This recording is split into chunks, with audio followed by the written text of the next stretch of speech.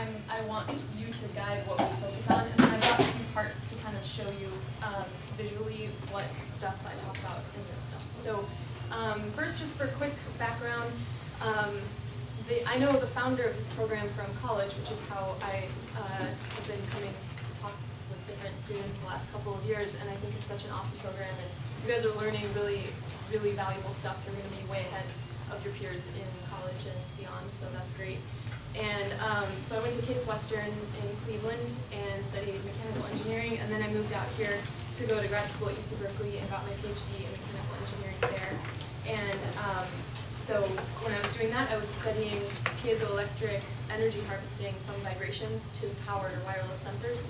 So I heard somebody working on a piezoelectric Uh, there she is. Lauren, raise your hand. and um, You should ask her lots of questions afterward. More yeah, feel free if, if you have anything you want to talk about. But yeah, so I was working on um, sort of microfabrication of, of um, uh, these, these energy harvesters during grad school.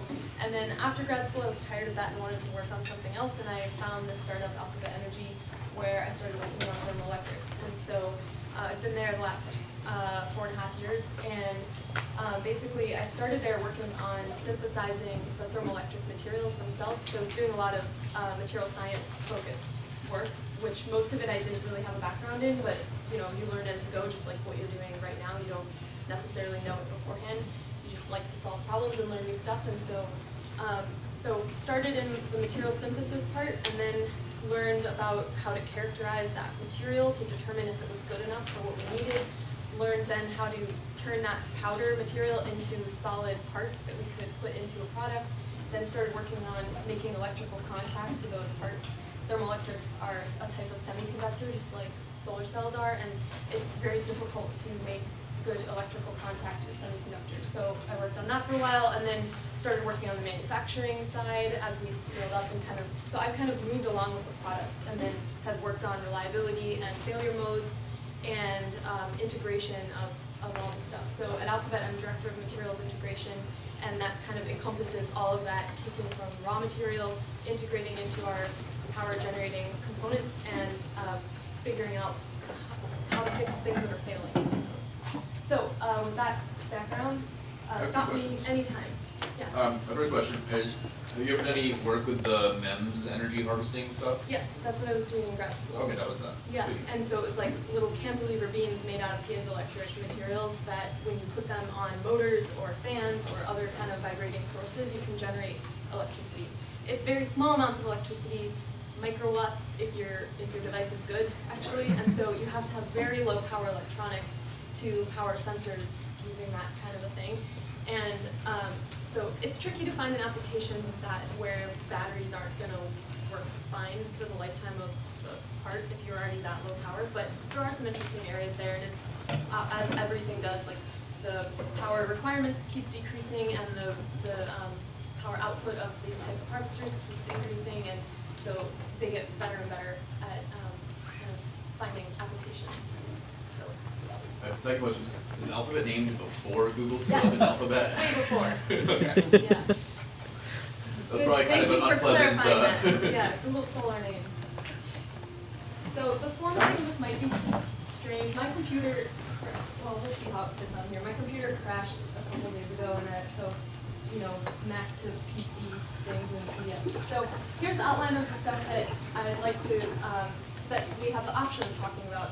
Uh, how thermoelectrics work, some applications, Alphabet's products, and then power cards are the smallest sort of power generating uh, product that we have, and I'll show you what those are, and then how they're made and tested. So um, again, you can stop me anytime.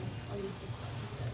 Okay, so um, thermoelectrics, in case you aren't familiar with them, are a very interesting material because they convert between electricity and heat. And you can use them in either direction, where you either apply a voltage to the material and you get a temperature gradient, which is how seat heaters or coolers in your car work, or wine coolers, or there's a few other products I'll show. Or you can take the material and put it in a temperature gradient where it's hot one side, cold the other side, and you can get power out. You define gradient? Gradient, thank you. It's a, a difference, so hot and cold. And so then it's a gradient across that. So it can be a steep gradient where it's really hot one side and really cold the other side, and you'll get, the bigger the delta T, the better your power output will be from these devices. So the equation, oh, the equation that kind of, uh, that, that's used as a figure of merit for the thermoelectric material, yeah. So what exactly is heat?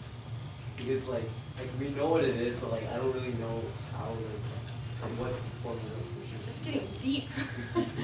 So, I, I mean, formally, heat is defined on an atomic level of how much energy is in the atoms that are in a space. And so, um, for the purposes of the discussion, you can simply think of it as temperature that's important, but ultimately, what drives, well, and, and heat has a sort of connotation of flow. So, heat can flow, temperature is just a measured quantity. So like, how would that relate to electricity? So, uh, you can think of it in terms of just temperature. So if it's hundred C on one side and six hundred C or four hundred C on the other side, you'll, you'll have a temperature difference and you'll be able to generate electricity from that. The electrons will flow through the, the PN, uh, couple and, and you'll be able to get electricity. Um, so the, the figure of merit that's used to quantify how efficient a, material is at doing a thermoelectric conversion is shown here. Uh, usually it's described as ZT, so it's this term multiplied by temperature.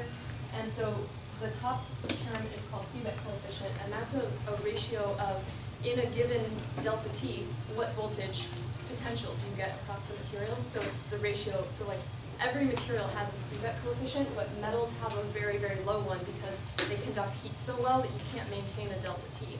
And um, so, but they conduct electricity really well, so they have a very bad Seebeck. Ceramics also have a bad Seebeck because even though they can have a, a good temperature difference, they don't, they don't conduct electricity. So, um, that's why we need semiconductor type materials for these applications. Then electrical resistivity and thermal conductivity, you're probably somewhat familiar with, just how well does the material conduct heat and electricity.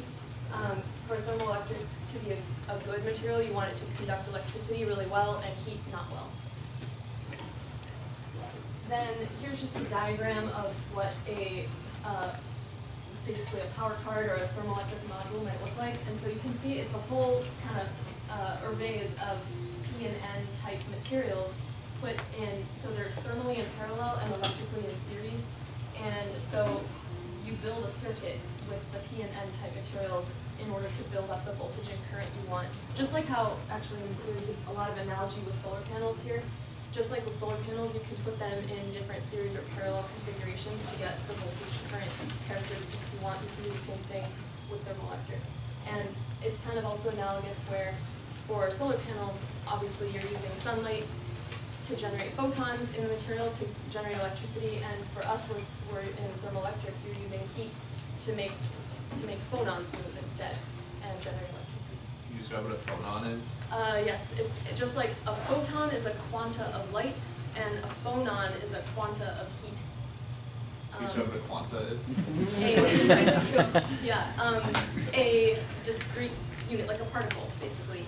So you think of, um, we think of, of heat traveling through a material in terms of particles bumping into each other, and the way they kind of describe those, those, uh, that transfer is by thinking about a phonon carrying heat as a particle through a lattice in the material. It's almost like the difference between like analog and digital.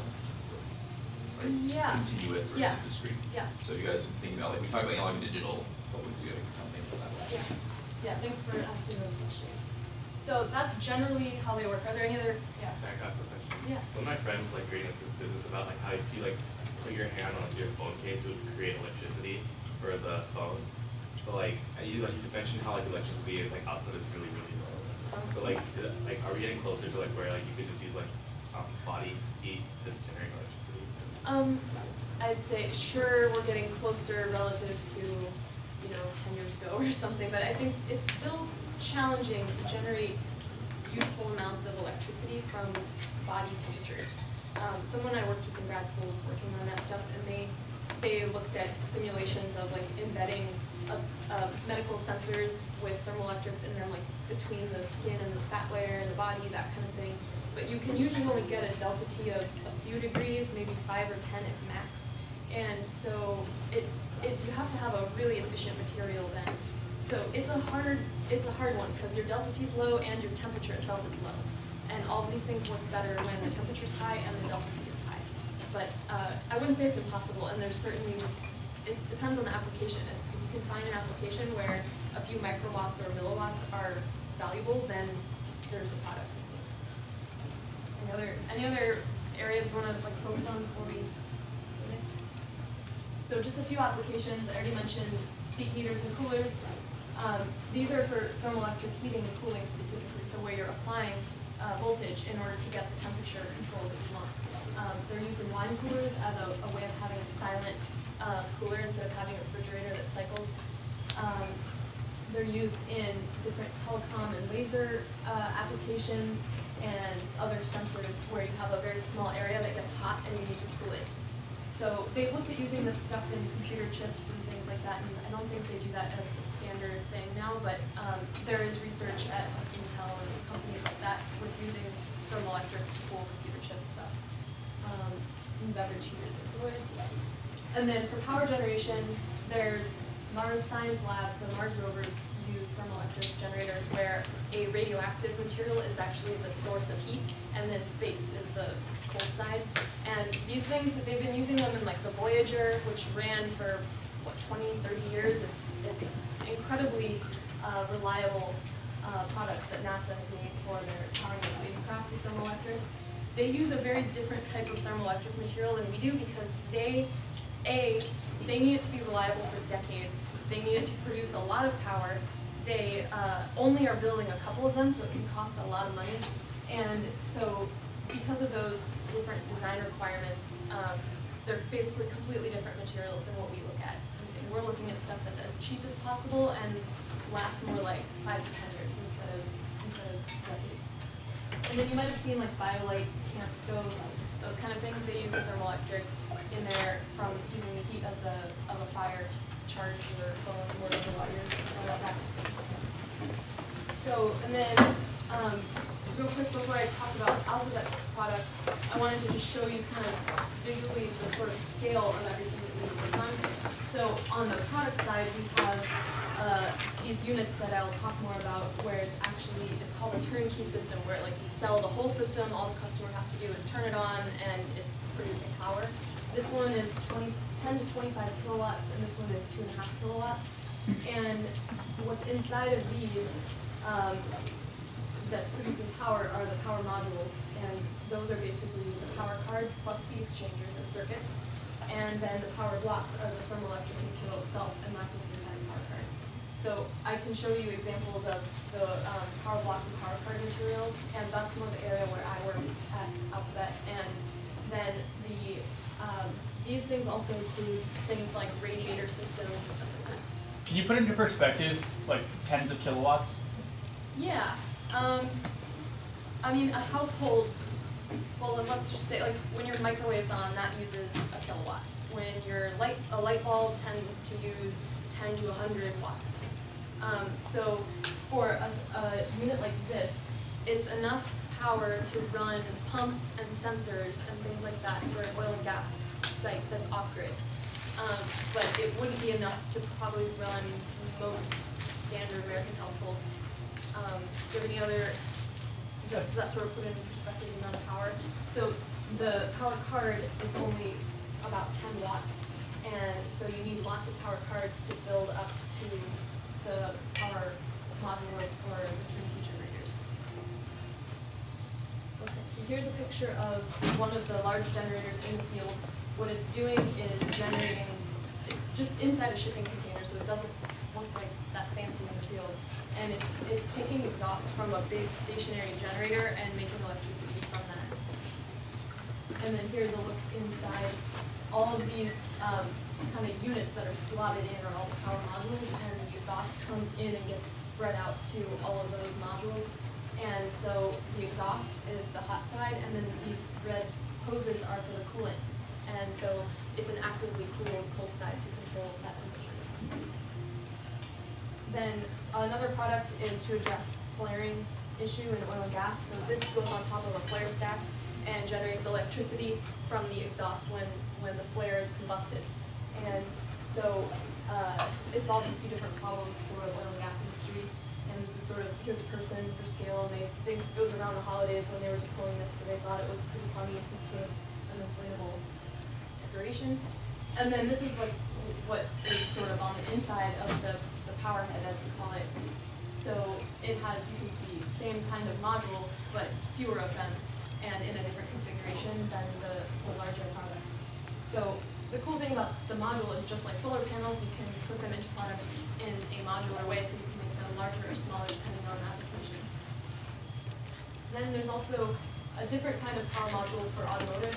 And so here, the, the orange things are, are big springs to hold the whole unit in compression, but those modules are more like this size, um, instead of big, because they're, they're meant to go under a car to improve fuel efficiency. So in, here's just a close-up of, the standard car module, where exhaust goes in here through heat exchangers, and then these outside plates have, um, uh, a, basically, co- uh, whatever, tube through it, so that it can, the coolant can run through and, and cool the outsides. So it's hot in the middle, and then it has, on both sides of the hot heat exchanger, it has the power cards, and then on both, on the outside of that, it has the coolant, cool. So is this for like electric cars, for like recharging the batteries? No, like, it's I guess for- electric cars don't have the exhaust Yeah, they, there, for so- electric vehicles, it's, you don't have the It's like high combustion exhaust temperatures. So it's for reducing the load on the alternator to, uh, improve fuel efficiency in those vehicles. So this just shows, here's a picture of the power card, and that's what goes inside of both of these units. So that's generally the products. I'm gonna pause and hear any thoughts or questions, any, anything you're wondering about, or more about? Yeah. About the, the Peltier card plate things, uh, I, in undergrad, we used those a little bit, um, in the, I guess in the Seebeck modes, or to generate the delta T. So that's Peltier mode. Okay, is that Peltier mode, Yeah. okay. Um, so I feel like I remember that we could get delta T like forty degrees Celsius. Certainly, you certainly could. What is, like, how is the, like, efficiency, like, have those kind of like improved in the amount of delta T you can get, or I don't actually just like know, less power for the same delta T? I don't know the answer to that, because we don't focus on heating and cooling applications, but, You're doing it I mean, when we run these things in those applications, it's, you know, three fifty C on one side and eighty C on the other side, so it's a big delta T. Um, so you want it to be big for generating power. Yeah, so we were using this for cooling Yeah. we. Right. Yeah, so I don't have a good answer to that. Um, so this is the, the slide I was hoping to get to and then maybe pause for more questions, but this shows generally the steps for making the power card. And I have one thing I'll pass around. About that. So, um, this is a power card that's been cut in half for purposes of just characterization, basically looking at it with a microscope. So it gives you a little bit of an idea, um, just looking at the different elements in there. So basically, when we make power cards, the first thing you have to do is combine raw powder materials like magnesium and silicon to create thermoelectric materials. Then you have a powder form and you have to consolidate that using um, what we call the different kinds of it, but just generally hot press. So you, uh, I can show you that. And then um, once you have uh, pucks, this is one that's unopened, but it gives you an idea. This was a small kind of um, preliminary test size of a, a puck that's made from the powders. Um, and then to give you an idea of the size now, these are, this is the cross section of the, the size that we hot press now. So we do those in a, a thick ingot, and I didn't want to bring an entire one, so this just gives you an idea of that. And then it gets sliced into wafers and polished, and then we put metal on it to make electrical contact, so this one has gold on it. And then, once you do that, it's diced into little pieces and assembled with different bond materials, a solder on one side and um, a, a silver-based bond material on the hot side, because the solder would melt if we took it to the higher temperatures. And then it's put into a package like that. So, uh, I guess in this part, it, it kind of can give you an idea of some of the stuff you could work on as an engineer.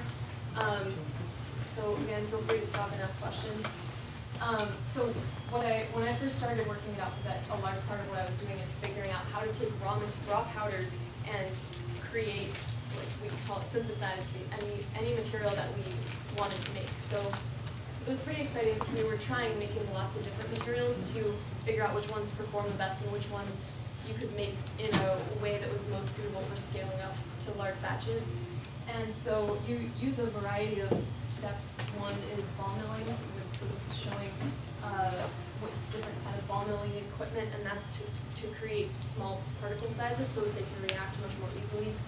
Um, you know, you, when you were talking, asking people earlier about what they've learned and what you learned from your mistakes, I mean, those are really good questions because that's kind of what drives all of this. We would start out having no idea what was gonna happen, know, we'd read some things in, in literature and try to understand the best recipe parameters to try, but, you know, we did things that would go wrong, like, uh, we ball milled really well one time by accident and the particles got so small that when we opened the jar, it caught on fire, they Wow. were really, really fine particles, and so they're very uh, easily combustible. And so that was a learning experience. Um, so after that, we had to change the recipe and do it differently. It's not very scalable if your materials catch on fire. Um, and then we use different furnace steps to actually complete the reaction of the materials. So it's it's really interesting. I, I started getting interested in geology after working on this because we're basically trying to take like some of these are naturally occurring materials, but we're making them in a specific composition or a specific recipe that makes them good at being thermoelectric.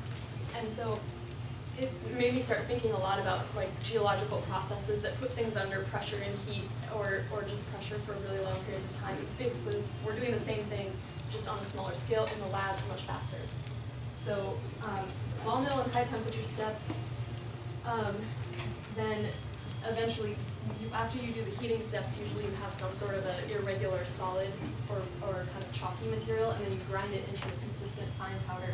So I didn't really point out, but this material changed from the color of the raw ingredients is gray like that, and then once they're reacted, it turns blue like this, which is pretty cool.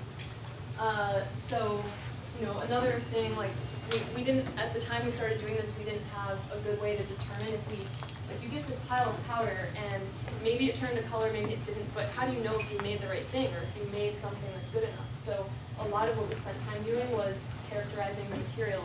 So we would do that with X-ray diffraction is one way, um, slide, not yet. Um, so X-ray diffraction is basically like taking the fingerprint of a material. Every single material has a different set of peaks that show up at different uh, degrees. Basically, the, the X-ray sweeps across like all the crystal angles, and we don't need to get into the details of that, but it's it's exciting because it lets you identify different materials. And if you add um, if you add an extra material, or you know, magnesium oxide, for example, was a material that was bad for our for our thermoelectrics, and we needed to have none of it. So we could use X-ray diffraction to determine if we had pure magnesium silicide or if we were getting magnesium oxide, which is bad.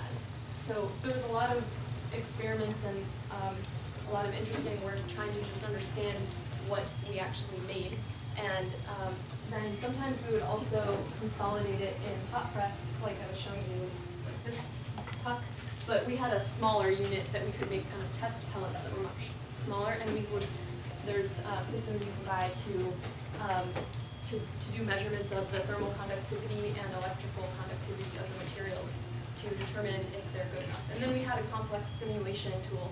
We would plug in all the material inputs to the tool, which simulated the whole system operation with heat exchangers and everything. And so when the simulation said your material now is good enough to get the right power out that you need for the product, we knew that we could kind of move on to the next step and, and keep optimizing. So, um, yeah, Wait, does your work uh, take more chemistry or physics? um, both. Um, probably more physics, I don't know, I, I mean, the che- chemistry ends up being kind of specific, um, like when I'm working on this one particular material, I read a lot about that one chemistry, and, you know, this magnesium silicide, for example, um, or, yeah, you read a lot about and learn a lot about the specific reactions that you're working on, so it's kind of more of a deep, like narrow, um, learning than like broad, you know, I wouldn't call myself a chemist just because I know a lot about the chemistry of a couple of materials. It's both. As a follow-up question to that, it- well, you can go first. Oh, I was gonna ask like, um, in terms of like how much this costs, is this something I could go on like in everyday device, or is this something like you have to be like a large company that has like a huge factory to use this? Yeah, it's a good question. For the large products, those, like the ones I was showing you that make kilowatt scale, those, I mean, you're gonna need to be a large company to purchase those, but it still needs to be at a price point where it pays back their purchase within a year or two. And then the, the automotive application is, needs to be a lot lower cost for, for that because it's a price sensitive market. And then as they scale up the production of that kind of product, then the cost drops even more. So now you can buy, like the, the thermoelectrics that are used for heating and cooling your car, car seats, those used to be expensive, but now you can buy it for like twelve dollars on Amazon. You buy a little unit. So if you buy it and you put a little nine volt battery on, on the two different leads, you can feel a side get hot and cold. Um, and I, I meant to bring one of those, but I forgot, I'm sorry. But it happens like instantly, you put the leads on the battery and you can immediately feel it get hot and cold. Um, one thing I didn't show you yet that relates to all your soldering. This is, um, I'm not gonna pass this one around because it's not kind of encapsulated, but this just shows a printed circuit board with, um, some leads on it that these power cards are soldered onto. So it's just like what you guys are doing now. Um, in our initial prototyping stages, um, before we're like moving to outside manufacturing partners, we're making everything by hand, like people that work solder everything. So these get soldered into boards like this, connected in series or parallel as we want, and then put into those larger modules. And then also, I can pass this one around. Um, these are just examples of different sized, uh, pieces that we ended up cutting. Um, is that, is that cross-section thing still going around? Or- Oh, keep passing, oh, did people already see it? Yeah, so that just gives you an idea of like the, the parts that go into the power card. Um, here's some of the larger ingots that we make. This is like the size of the, the, the, um, wafer that I showed you. Um, and then the, power card itself gets assembled with like a pick and place machine, which you basically give it a whole array of the little parts that I'm passing around, and it's a robot that picks one up and puts it in the right spot and does it really fast. So these are common for the semiconductor computer chip industry. And then that is basically it, other than if you were interested in how we test these things, that's another, um, uh, very involved thing where we have a, a rig that puts it all, puts the power card into compression and heats one side of it and cools the other side, and takes very, very careful measurements of the voltages and, and temperatures. What necessitates putting it in compression? That's a great question. Um, basically, the, the major thing is that you need to get really good thermal contact between the surface and the heater or cooler. And, uh, that's, that's the case whether you're trying to just take an accurate measurement or whether you're actually trying to get the best performance of a part in a product. So the primary reason is to get good thermal contact. Um, you know, when you put two surfaces together, even if they seem really smooth, they're actually really rough at a microscopic level, and so you get air trapped in the middle, and that interferes with transferring heat properly between the surfaces. So the other reason is that um, as you heat this stuff up, there's a lot of thermal expansion, and things can crack and break if you don't have it in compression. So when you put it in compression, it's a more reliable stress state, basically, and everything holds together, and especially if you're in a, an application with vibrations or anything like that, having it in compression is really important for reliability. Do you use any sort of thermal paste? Yeah, yeah, there's like, uh, there's kind of gooey materials we use on the cold and the hot side, and they, you can get kind of a graphite oil material, it's called, it's like a slippery, a carbon material that, that compresses nicely to fill in the gaps. Yeah. Um, the other question I is, so for this sort of work like on a day-to-day basis, like what kind of like skills and knowledge are you using and like what would, like if somebody was like, oh, thermoelectrics are really cool, like what would they do in college? Yeah, well, you could, people who work on thermoelectrics can study mechanical engineering, electrical engineering, material science, chemistry. Like, you really, thermoelectrics is kind of an interesting field to work in because it involves a lot of different disciplines. And uh, a lot of engineering is that way, actually, where like one product requires many different disciplines to work on it. So I'd say ultimately study whatever you're most interested in, and you can apply that in a lot of different ways. Um, on a day-to-day, most of us at work use mechanical, electrical, and materials science all regularly, and Um, some people get more into the chemistry side. Um, we have some research level work where we work on silicon nanowires, and those are made by etching with really scary acids and and the chemistry of that process is very precise. So there's a, a lot of different um, specialties, I guess, that go into that. And I think, I mean, like I was saying, I switched from doing my PhD in something completely different than this. Um, it was still energy harvesting, but with a totally different physics. And I think what you guys are all learning now is you can learn this stuff if you're curious and you know interested and you are willing to put a little bit of work in or a lot of work. Um, you can you can learn all this stuff. You can learn all of what you need to learn. The main thing that we need to be careful of, I guess, is following proper scientific methods so that, you know, I may not know what I'm doing, but if I go in the lab and do an experiment and I have a good control and a good test group, then I have a conclusion at the end of that experiment and I learned something. And so even if it doesn't work, I still learn something to inform the next experiment. And so, and then, you know, you were talking about lab, somebody was saying you need to record stuff in your lab notebooks. That is so critical in engineering, especially in a team, because you need to be able to reference old experiments, like, didn't we try that one time, and I can't remember what happened? Or you need to make a decision, and you think, like, you, you vaguely remember that you did some test where the data might support this decision you need to make. So, um, you know, some people have really exceptional memories and can remember all of it, I'm not one of those people, so I write everything down, and, um, on our team, we found it was really helpful to stay all on the same page as a cohesive team if we had basically a conclusion meeting at, at the end of every week. So we would all put together slides that showed the conclusions of our experiments, and then we could challenge each other's conclusions. We could say, you know, I don't think that really is the reason. It could have been this other thing. I think we need to do a follow-up test, or you know, we would all be on the same page about uh, what progress we've made and, and sort of share best practices for test methods and uh, and I think it ended up being really, really valuable to have a comprehensive list of all, basically we'd send our conclusion slides into the group and then everyone has this record of, it was basically like the group lab book and it was really valuable. So, Thanks.